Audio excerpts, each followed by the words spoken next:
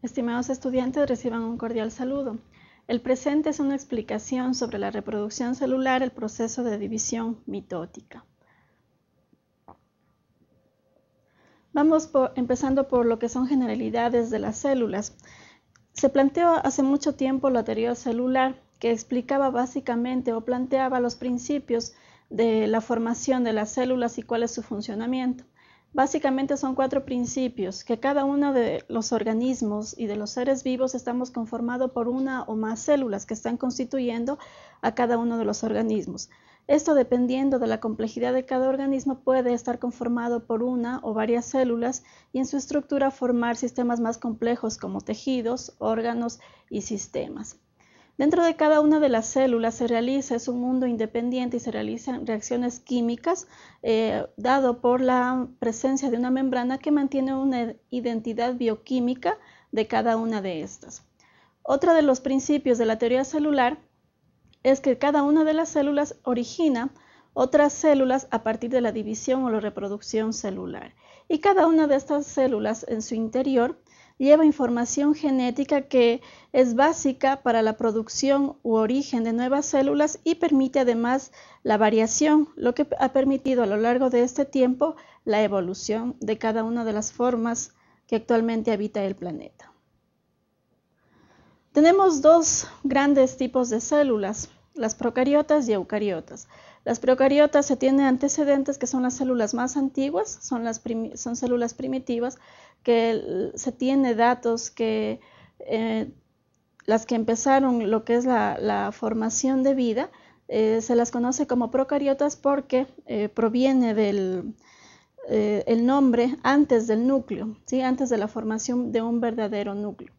Estas células son unicelulares o, conforman individuos unicelulares y cuando se agrupan pueden formar colonias, pero no llegan a formar organismos pluricelulares.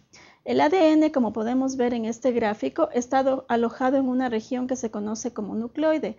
Contiene un solo cromosoma de forma circular y además tiene pequeñas moléculas de ADN en el resto del citoplasma llamados plásmidos, que mantienen una independencia de lo que es la división celular a lo que es el, cromosoma bacteriano.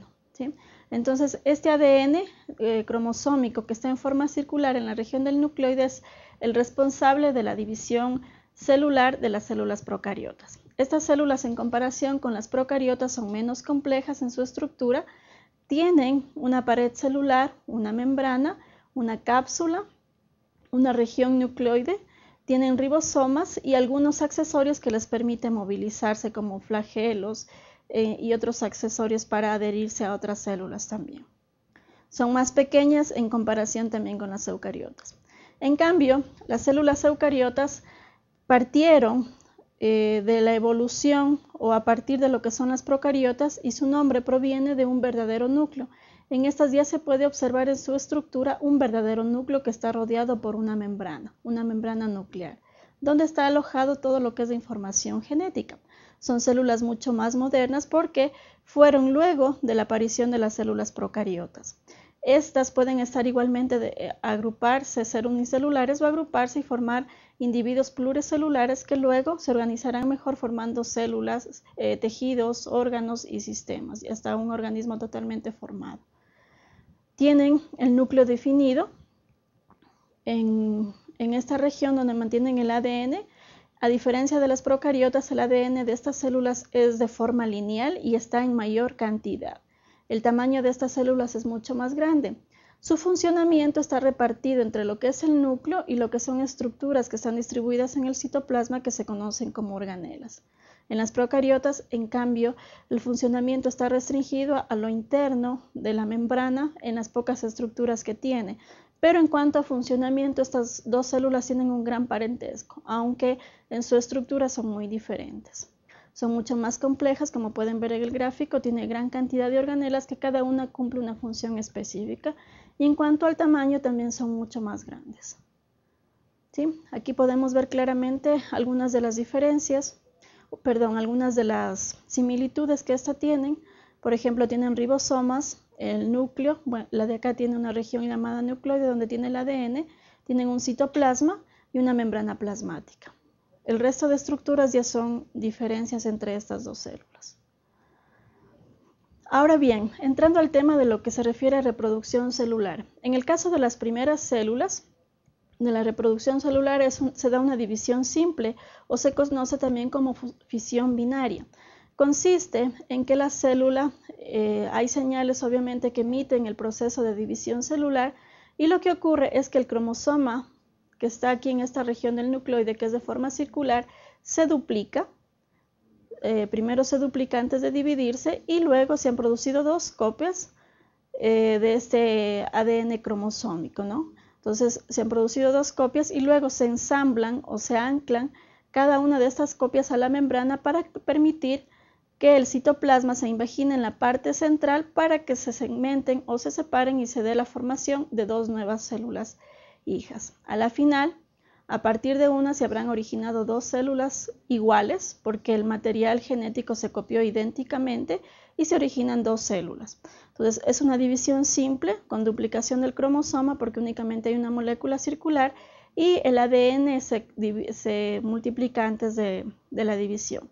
Es importante recalcar que en este proceso no hay presencia de variabilidad genética, pero las células pueden adquirirlo luego por medio de mutaciones por el proceso de conjugación y otros procesos que se da propiamente en las células procariotas. Ya entrando en las eucariotas, la división es un poco más compleja debido a la cantidad de ADN presente, a la forma lineal que, se encuentra distribuida cada una de esa información genética y tenemos aquí la presencia de cromosomas de forma lineal. Dependiendo de la especie, este variará en el número, ¿no? Toda la información genética del individuo está contenida en lo que es el núcleo y esta será transmitida de generación en generación. El proceso de división celular es muy importante en los organismos, ya que por medio de estos se originarán nuevos individuos y se repararán tejidos dañados. Entonces es muy básico para el mantenimiento de la vida. En las eucariotas ocurren en cambio dos procesos diferentes, lo que se denomina mitosis y la meiosis.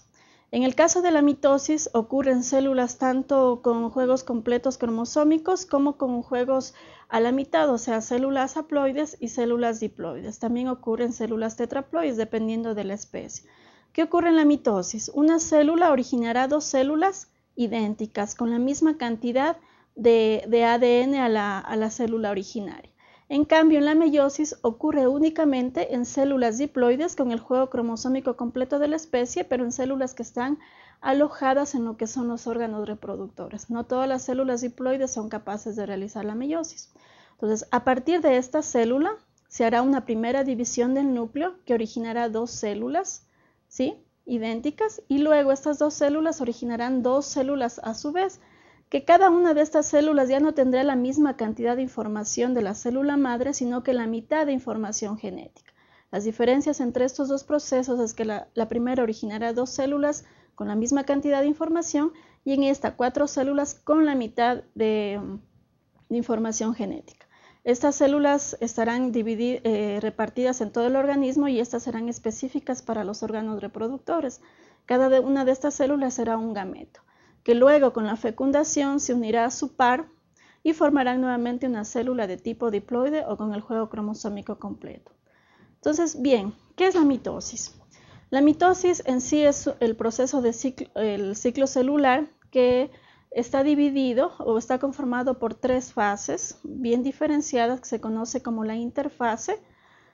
Luego viene en sí, en sí el proceso de mitosis que a su vez tiene algunas fases y finalmente la citocinesis eh, que darán origen a las dos células hijas. Entonces, en la interfase, que es el periodo más largo, que ocupa más o menos el 90% del tiempo de todo el proceso de división, hay la fase G1, donde la célula empieza a crecer, a alargarse y empieza la duplicación de las organelas y en el caso de células animales de los centriolos. Luego ocurre la fase de síntesis, la fase más importante, donde el ADN se duplica, se sintetizan nuevas cadenas de ADN y las histonas y proteínas y otro tipo de proteínas que enlazan a estas moléculas de ADN. Finalmente, en la interfase ocurre la fase G2, donde se ensamblan estructuras asociadas con la mitosis para la formación del resto de, partes de la célula.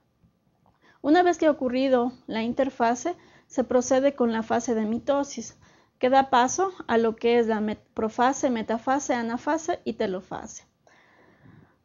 Cuando ha ocurrido la interfase, los cromosomas se encuentran distribuidos así, como hilos. Esto se conoce como cromatina.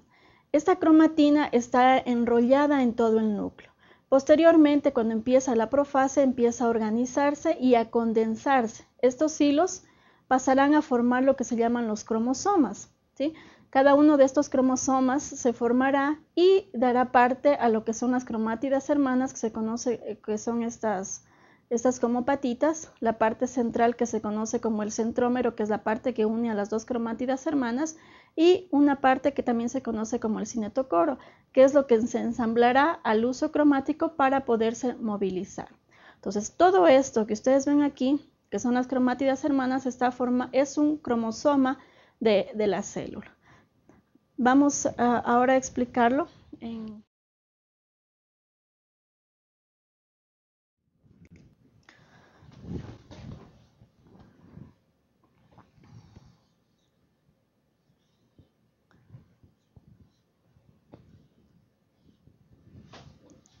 Bueno, tenemos una célula, en este caso, una célula diploide que tiene un juego cromosómico de 4, ¿sí?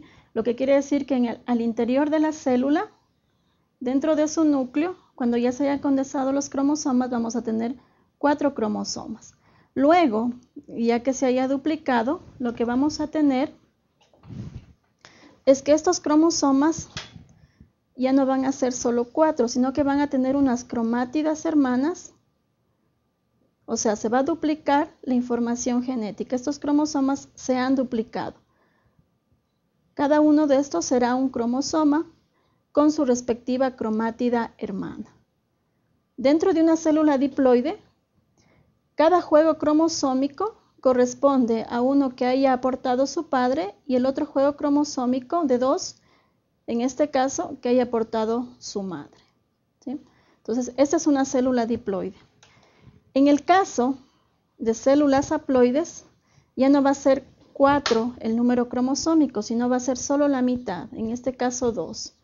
Una célula ploide formada únicamente por dos cromosomas. Estas células únicamente se encuentran en los gametos o células eh, reproductoras. Lo mismo ocurre en este caso el proceso de, división celular mitótica y cuando se dupliquen los cromosomas, estos aumentarán su cromatida hermana, que es una copia idéntica de ese cromosoma. Vamos muy bien ahora a regresar a la presentación. Lo que tenemos. Este gráfico de aquí es un solo cromosoma con dos copias idénticas que luego se separarán para dar origen a otra célula. Entonces, en este caso ya estamos en la profase. Se ha formado dentro de la célula, se ha duplicado cada uno de estos cromosomas están aquí unidos por su centro, eh, centrómero y aparte por los sinotocoros. En esta fase ya se divide o se, se separa, se desune lo que es eh, la membrana nuclear. Entonces aquí podemos ver ya la cromatina condensada. Cuando la cromatina está condensada se ven los cromosomas y el resto de sus partes. Desaparece la envoltura nuclear, asimismo los nucleolos que estaban dentro del núcleo hay la, migración de centriolos a lo que son los extremos. Los centriolos hay únicamente en células animales y migran a los polos llamando o formando una región que se llama como centrosoma.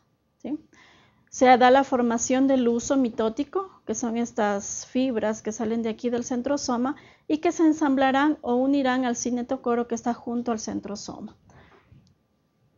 Luego ocurre la metafase dentro de la mitosis. Cada una de estas cromátidas hermanas se han unido al uso, al uso mitótico y se alinearán en la parte central o en la zona ecuatorial de la célula. Luego ocurre la anafase. En el centrómero que estaba uniendo a cada una de estas cromátidas se separan y lo que hace que migren hacia los polos. Cada una, la mitad de estas cromátidas eh, duplicadas migrarán a los polos y finalmente ocurre ya la telofase, donde el uso, estas líneas se dispersan, las envolturas nucleares vuelven a aparecer la cromatina se descondensa, lo que quiere decir que se vuelven a formar estos, estos hilos y en cada polo tendremos la misma cantidad de información genética. Luego ocurrirá lo que es la citocinesis, entonces aquí podemos ver a cada extremo de la célula los, los, núcleos, aparecen nuevamente esto que son los nucleolos y la mitad de información en cada una de las células. Ocurrirá finalmente el proceso de citocinesis, que quiere decir que estas células se separan y cada una tendrá su membrana y en el caso de células que tengan pared celular también se dará la formación de la pared celular. Esto es, ha sido una explicación de lo que se refiere a la mitosis.